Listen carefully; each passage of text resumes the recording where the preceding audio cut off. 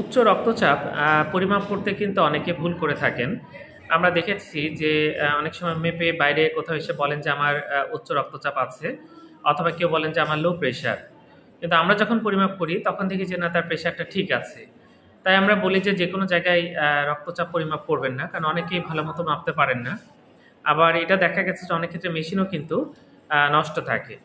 আবার এখন এক ধরনের ডিভাইস আসছে যেটা দিয়ে ডিজিটাল যেটা বলা হয় ব্লাড প্রেশার মাপার মেশিন সেটাও কিন্তু অনেক সময় সঠিক রেজাল্ট দেয় না। তো আপনারা এই বিষয়গুলো একটু খেয়াল রাখবেন, আমরা প্রায় জিনিসটা পাই। হয়তো দেখা যাচ্ছে প্রেশার নর্মাল তিনি তাকে বলা হলো যে তার প্রেশার বেশি এবং তিনি অস্থির হয়ে গেলেন। এই ধরনের প্রচুর রোগী দেখতে পাই। আবার দেখা যাচ্ছে যার আসলেই প্রেশার আছে, তাকে আবার বলে যে, না, আপনার প্রেশারটা কম হাইপোটেনশন বা প্রেশার কমে গেছে। তো এই ভুলগুলো যেন না হয়, এখন আপনার আশেপাশে অনেক ভালো ডাক্তার আছে। আপনি চেষ্টা করবেন একজন ভালো কারার কাছে রক্তচাপ মাপার জন্য। কারণ এই ভুলগুলো প্রায় হচ্ছে এবং রোগীরা অস্থির হয়ে যাচ্ছে এবং অনেক সময় অনেক ভুল চিকিৎসার শিকার হচ্ছে। ধন্যবাদ সবাইকে।